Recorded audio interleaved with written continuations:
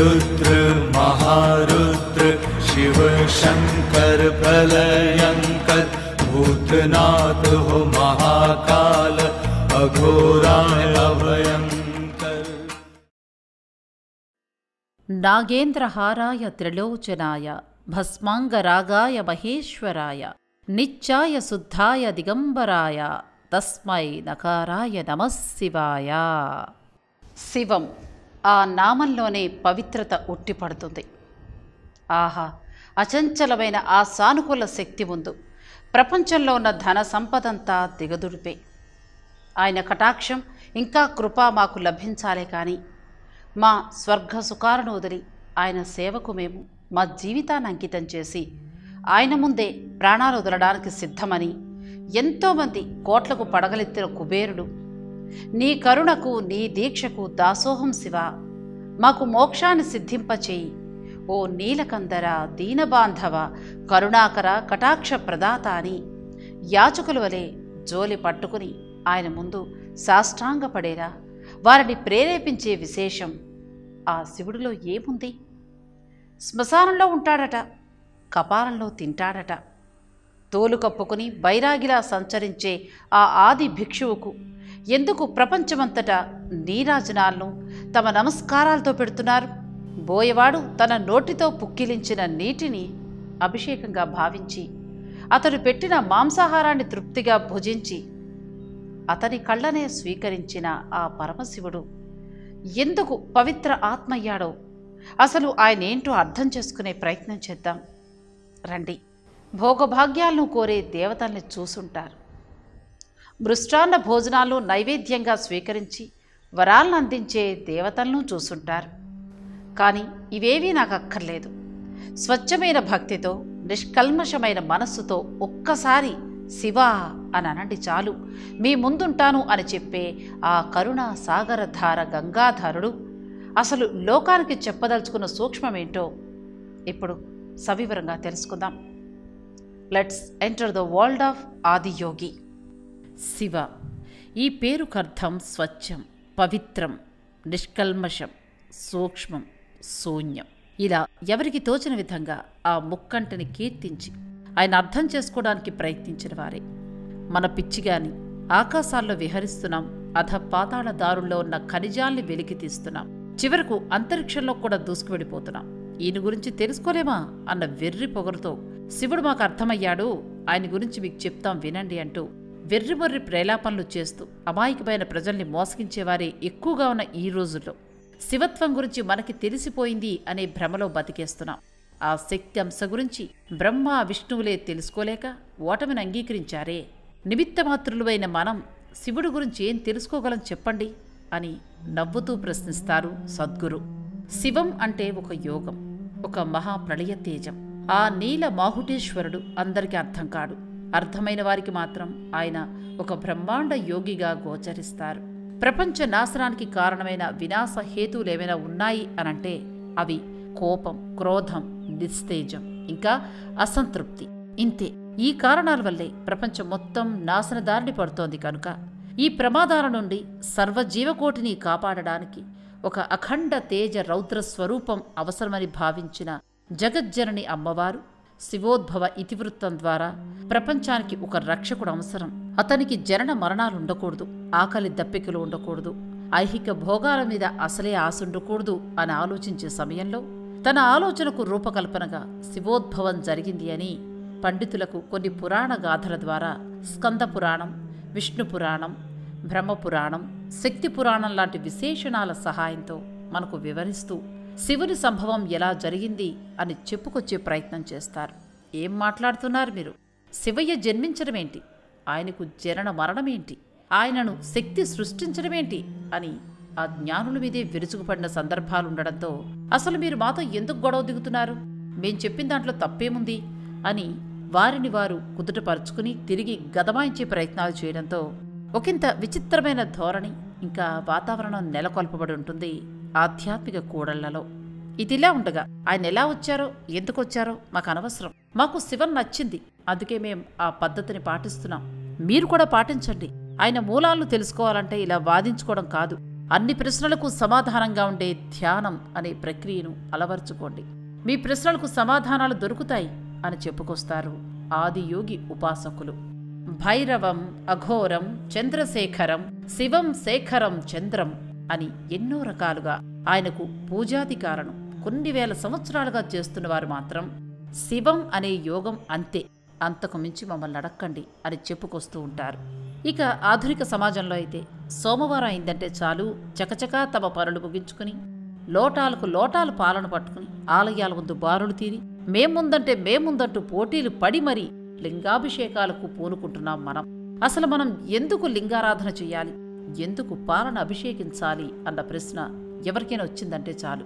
ఏయ్ ఏం మాట్లాడుతున్నావు? ఇది తరతరాలుగా మన పెద్దలు పెట్టిన ఆచారం. దాన్ని గౌరవించటం మన తక్షణ కర్తవ్యం అని పెదవిరిచి ఎటూ తేల్చుకోలేని అజ్ఞానాంధకార మూఢభక్తికి తాము బలైందే కాక పక్కవారిని కూడా బలి చేసే ప్రజానికం చేసే అతిపెద్ద దారుణం ఏంటి అనంటే తమ తరువాతి తరాలకు అభిషేకం గురించిన విశిష్టత తెలియపరచకుండా ఏదో తూతూ మంత్రం చర్యగా దాన్ని చేసి చేతులు దులుపుకోవటం ఇది చాలా నీచమైన హేయమైన విషయం అని బాధపడతారు సిద్ధపురుషులు. శివాభిషేకం యొక్క మూల సిద్ధాంతాలు ఇవి అని వారు తెలియపరచడంతో ఎంతో కొంత జ్ఞానాన్ని మనం సంపాదించుకోగలుగుతున్నాం. అవేంటో తెలుసుకుందాం. క్షీరాభిషేకం మధుతేనాభిషేకం నేతి అభిషేకం పంచామృతాభిషేకం పంచగవ్యం పంచకావ్యాభిషేకం కొలకాభిషేకం అంటే పెరుగుతో చేసే అభిషేకం. నువ్వుల తైలాభిషేకం చందన అభిషేకం పాశుభ్యాభిషేకం అంటే పసుపుతో చేసే అభిషేకం వరి ధాన్యాభిషేకం అంటే బియ్యంతో చేసే అభిషేకం నారికేళాభిషేకం అంటే కొబ్బరి నీటితో అభిషేకం గన్ని అభిషేకం చెరుకు రసంతో చేసే అభిషేకం వైభుత్యాభిషేకం అంటే విభూతితో చేసే అభిషేకం నిమ్మధారాభిషేకం అంటే నిమ్మకాయల రసంతో చేసే అభిషేకం పంచదారాభిషేకం గోక్షీరాభిషేకం ఖర్జూరసార ద్రవాభిషేకం మామిడి సార ద్రవాభిషేకం ఇక్కడ అభిషేకాలకు ఒక ముఖ్యమైన వివరణ ఇస్తారు పెద్దలు. అభిషేకం చేసే సమయంలో అది రాతికి చేసే పూజా క్రతువు అని మనం ఇన్ని రోజులుగా భ్రమపడి అది శివత్వం అనే విషయమే మర్చిపోయామని అభిషేకంలో ఆది బ్రహ్మాండమంత వివరణ ఉంది అని మనుషుల పాపకార్యాలు ఇంకా లాభ నష్టాలను ప్రతిబింబించేలా ఈ అభిషేకాది కార్యక్రమాలను నిర్వహిస్తారని అందుకు మొదటి సాక్ష్యం ఆ పరమశివుడు అవ్వాలని ఇలాంటి పూజాధికాలను నిర్వహిస్తారు జ్ఞానులు. శివతత్వం ఇంకా ఆ సూక్ష్మ సంహిత మనకు అర్థమవ్వాలి అంటే కొన్ని యుగాలు పడుతుంది అని. అప్పటి వరకు మనం బ్రతికి ఉండడం అసంభవం కనుక ఇలాంటి పద్ధతులను ఆచరించినట్లయితే కొంచెమైనా మనం చేసే పాపకర్మల్ని మనం ఎలా చేస్తున్నామో ఇతరులపైన అవి ఎలాంటి ప్రభావం చూపిస్తాయో అనే విషయాల మీద విశేష బోధనా నియమావళి మనకు అలవడుతుంది అని చెప్తారు పండితులు. అలా మనం మాట్లాడుకోబోయే శివతత్వంలో చాలా కీలకమైన భూమిక పోషిస్తుంది ఈ అభిషేక ప్రక్రియ. ఇక అన్నింటికన్నా ముఖ్యమైన వర్గీకరణ జరిగేది శివం ఇంకా రుద్రం అనే తేడాల ద్వారా. ఇవి ఒకటి కాదని ఇవి రెండు వేరువేరు అంశాలని మనకు వేదాలు చెప్తాయి. వేదాలు చెప్పిన సారాంశం ప్రకారం శివ సిద్ధాంతాన్ని రెండు రకాలుగా విభజించారు. శివం శాంత స్వభావమూర్తి అయిన పరమేశ్వరుడు రుద్రం రౌద్రోపహార మార్తాండ ప్రకోప తేజారూపుడైన అతి ప్రళయ భీకర శివస్వరూపం. పండితులు చెప్పిన దాని ప్రకారం ఈ రూపం చాలా భయంకరం మరియు అంచనాలకందని చెండ ప్రచండ శక్తి. ఋగ్వేదంలో ఒక శ్లోకం ఉంది. దాని ప్రకారం శివుడు ఈ లోకాల్లోకెల్లా చాలా శక్తిగల యోధ స్వరూపుడు. ఆయన శాంత రూపంలో యోగ నిద్రలో మునిగిపోయిన సత్మహర్షి అయినా కూడా అసమతుల్యతలు చెలరేగి ఈ సృష్టికి ఏదైనా విపత్తు కలిగిందో ఆయన చండ ప్రచండుడిగా మారిపోతారు.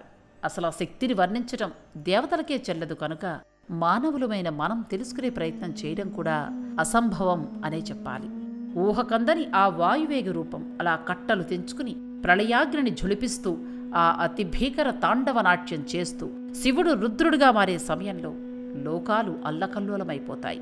అటు పొడిచిన సూర్యుడు మనకు కనబడ్డు. ఏదో కొండల చాటున దాగిన ఆ కిరణాల మధ్యలో నుండి రుద్రప్రతాపం ఏపాటిదోని అని ఆ భీకర కేళి చెలరేగితే జరిగే భీభత్సం ఎలా ఉంటుందో అన్న అంశం మీదనే తటపటాయిస్తూ అలా నిస్తేజుడై చూస్తూ ఉంటాడు అని చెప్తారు సిద్ధులు.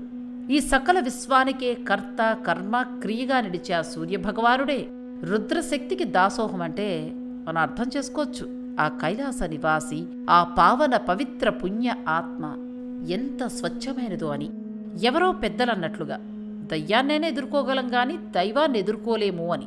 ఊరికే అనుండరువారు అనే నానుడిని నిజం చేస్తూ రుద్రాశక్తి గురించి పుంఖాలు పుంఖాలుగా కథలు కథలుగా చెప్పుకొస్తారు పండితులు పామరులు. అసలు ఇదేంటి?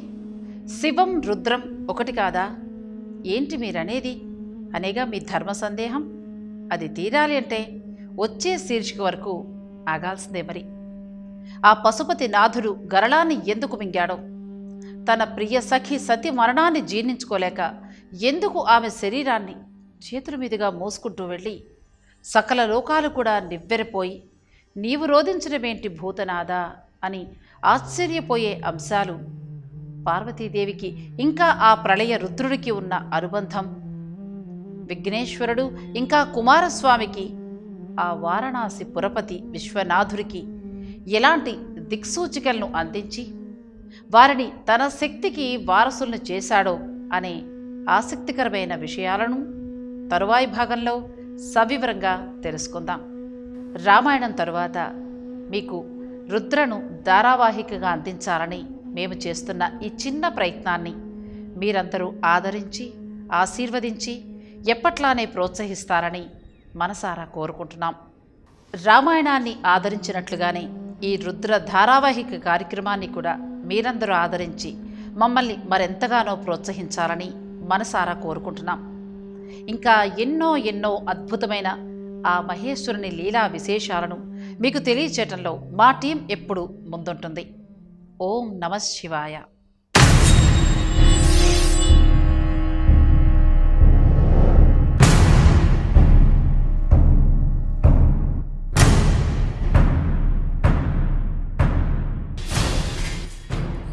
ఇలాంటి మరిన్ని విశేషాల కోసం మా ఛానల్ని సబ్స్క్రైబ్ చేయండి.